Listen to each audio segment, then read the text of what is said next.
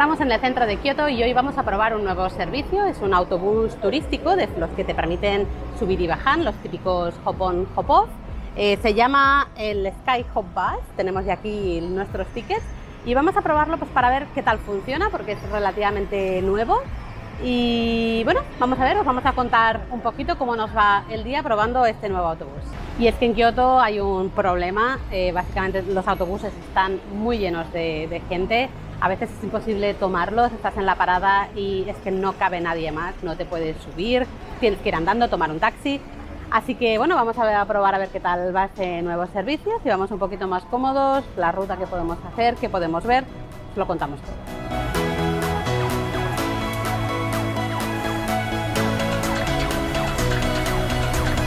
Bueno, ha venido con un poco de retraso hoy, también es verdad que están todas las carrozas del Guión Matsuri en medio de la calle, entonces es normal, ya te avisan que estos días de Guión Matsuri eh, lo que es los horarios pueden ir un poco así así, pero bueno, de momento ya estamos subidos eh, y vamos a nuestro primer destino a ver qué tal.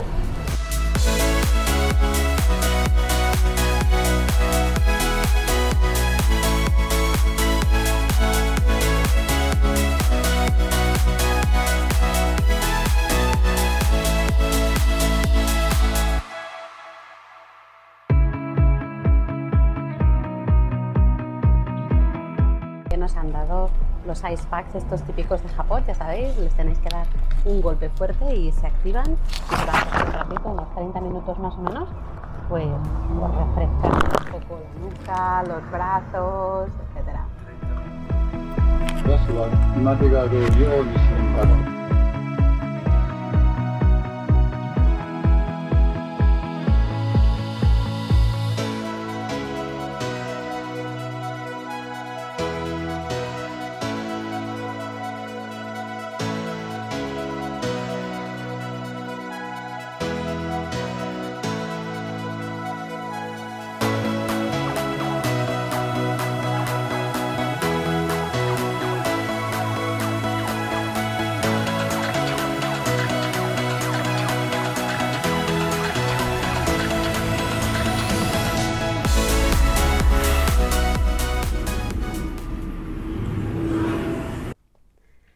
Estamos en el templo Daikokuji, nos hemos bajado del autobús turístico y bueno, la verdad es que, menos Eric que está haciendo ruido, hay un silencio increíble, no hay nadie y esto teniendo en cuenta que estamos en Kioto, que Kioto está repleto de turistas, mola muchísimo.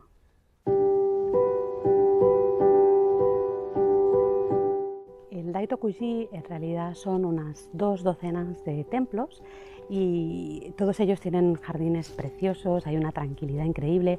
Aquí podemos disfrutar también de la gastronomía típica budista, eh, la gastronomía vegetariana y además, eh, bueno, además de, de la tranquilidad es un lugar ideal para conocer un poco más sobre el budismo zen.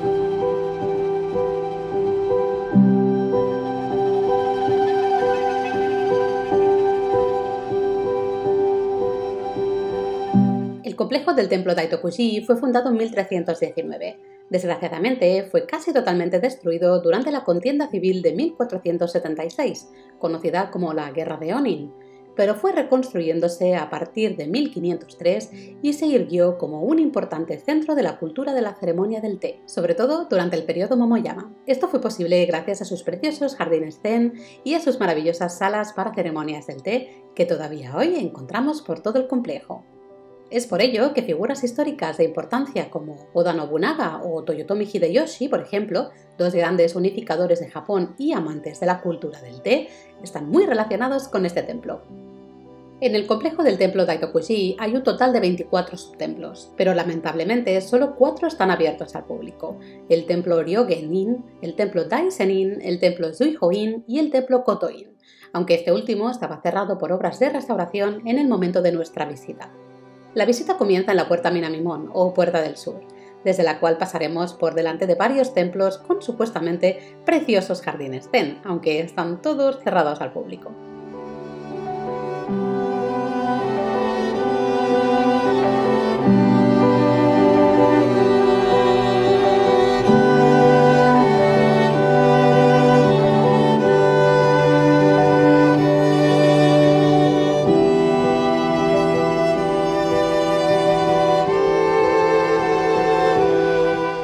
Continuación veremos la preciosa puerta Chokushimon, o puerta del mensajero imperial. Construida en 1599, se trata de una puerta que originalmente se encontraba al sur del complejo del Palacio Imperial de Kioto. Sin embargo, fue donada al templo Daitokushi por la emperatriz Meisho en la década 1640. Seguidamente podemos ver la puerta Sanmon, o puerta de la montaña. Se trata de una estructura de color vermellón de dos pisos que se construyó originalmente en 1479, aunque en realidad el segundo piso es un añadido posterior de 1539 por orden del maestro de té Sen Norikyu. De hecho, cuenta la leyenda que el maestro pidió que en el segundo piso de la puerta se colocara una estatua de Buda que se le pareciera.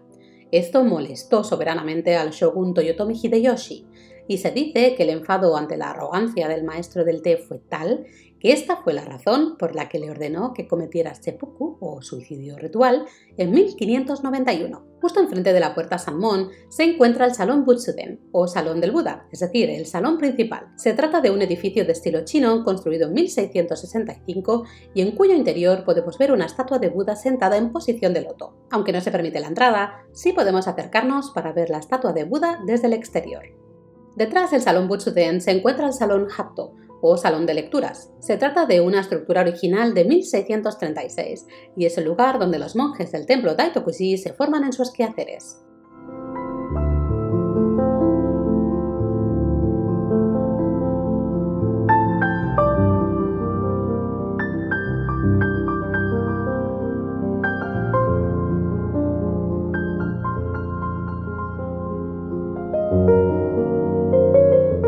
Desde aquí podemos acercarnos hasta el extremo del complejo del templo Hoshuin, pasando por los templos Yukoin, Nyoian y Ryosenan, donde podemos practicar meditación zazen. Tenéis más información en la web.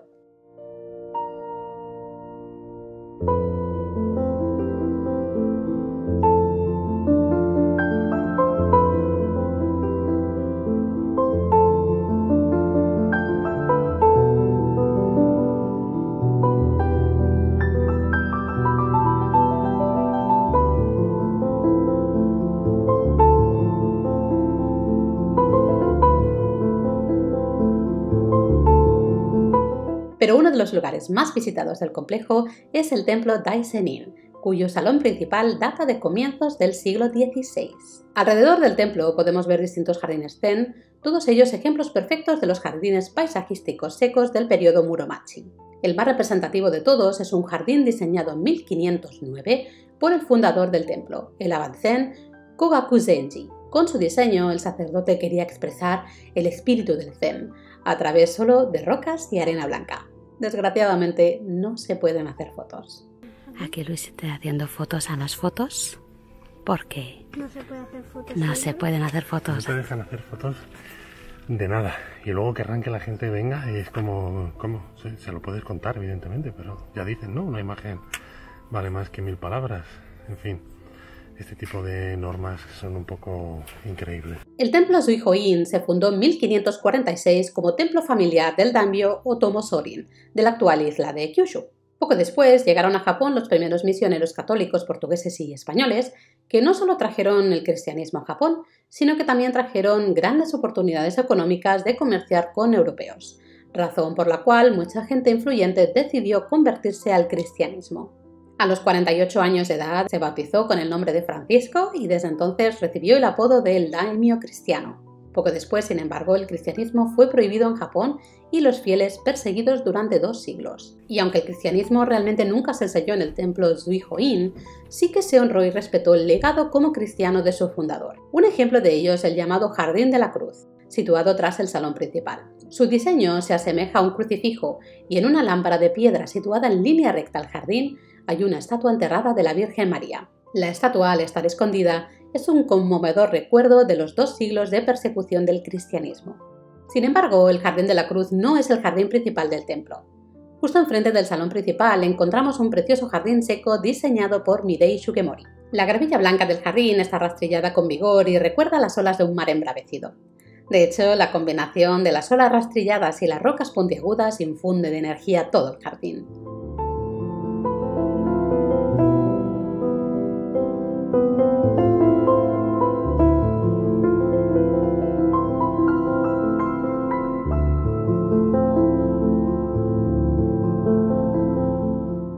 Cerca del templo Zuihoin podemos acercarnos a ver el templo Daiji, que aunque está cerrado al público, sí que podemos pasear por sus caminos interiores para acercarnos hasta el restaurante Isuden. Este es un restaurante de comida vegetariana típica de los templos llamada Ryori, así que si estáis buscando una experiencia gastronómica de este tipo en Kioto, este es vuestro lugar.